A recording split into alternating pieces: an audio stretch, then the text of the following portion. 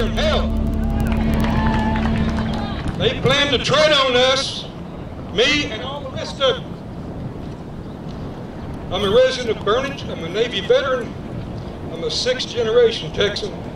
My wife's family's been in Burnet County for 130 years. I'm a lifelong Republican, which I'm not too damn proud of right now.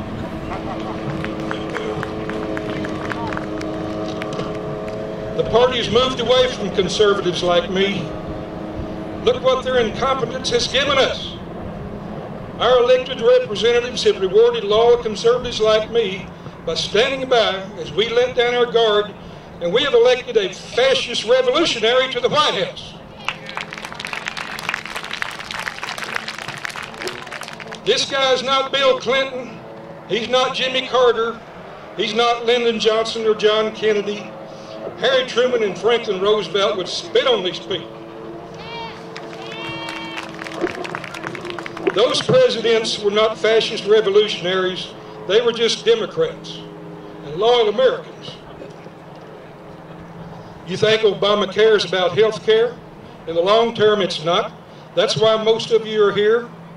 Short term, there will be some sort of a compromise described in such general terms that you can interpret it any way you like, and they will.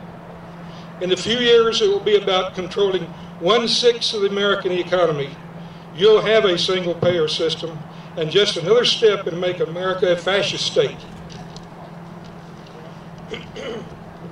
Remember how the stimulus package had to be passed right away as our economy was on the verge of collapse, and this package would lead us out of a depression. Then why is only 8% of that $787 billion been spent? Why are elected re Republicans not screaming about it? I submit to you that this $700 billion will come out next year in order to steal the midterm congressional elections. You can count on it. You think ACORN members are a sorry lot of useless incompetence. That's what a, a liberal friend of mine told me.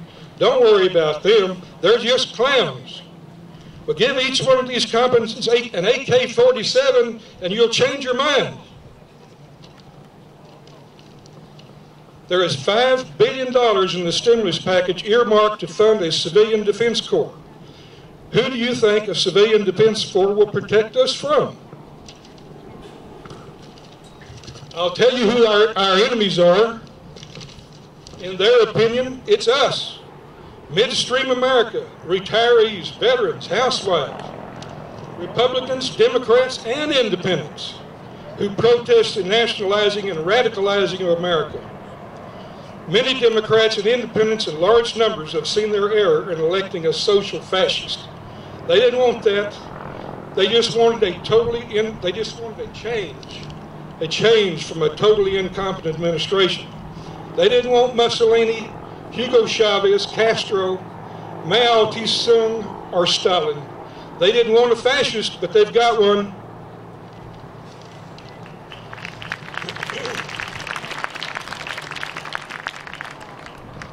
If the election were held today, Obama wouldn't get out of the primaries. He knows that. So he will have to move very soon to shut down what little there is of the conservative press and the other media. God, Fox News, God bless them.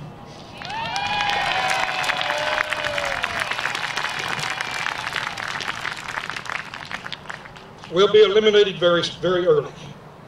A bill has been submitted to provide for suspending the internet in the event of a crisis. The Attorney General is in process of discrediting and disorganizing the CIA. Why? Because they are worldwide, they're a bunch of spooks, no one knows who, who they are, they are fanatically loyal Americans, and they are a primary threat to the regime. They will have to be neutralized, and that process is, is happening now. Obama has to have a crisis in order to declare martial law and suspend free elections.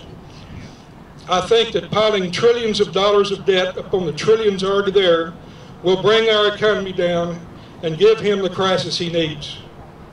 If not, then eliminating the CIA will expose us to an act of terrorism that will kill many, many Americans, and he'll have his crisis that way.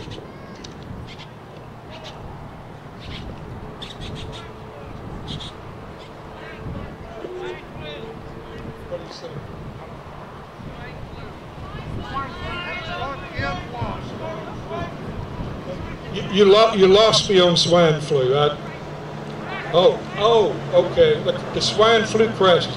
He's not ready for his crisis yet. That'll, that'll come next year or year after.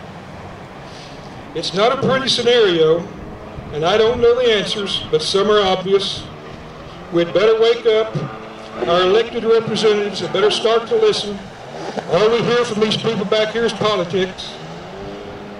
The midterm elections will be stolen from us, and we will be on our way to living in a fascist state. Thank you very much.